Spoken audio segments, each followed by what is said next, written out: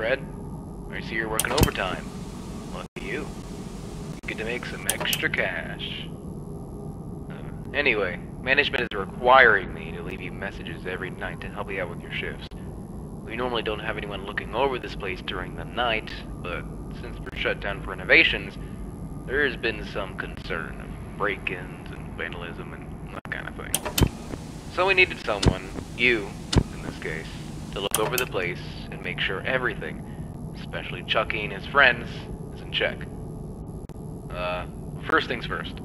I'm assuming management left you with the camera system. If you turn the monitor on, you'll be able to flip through the channels for the cameras that are placed throughout the building. It's not much, but it's at least something to look at while you're bored. And to watch for anything out of the ordinary, of course. They aren't top-notch, so don't be surprised if things are a little. also, behind you should be a security gate. Now, there were some issues in the past that basically forced us to put in that gate. It's a little broken, however. Instead of you just turning the handle and it keeping itself shut, you have to keep it closed by holding down the handle. I know it's a bit annoying, but in the case of an emergency, you're gonna need that gate. Just don't play around with it too much. You don't want it jamming on you. Alright, uh, I think this should be it.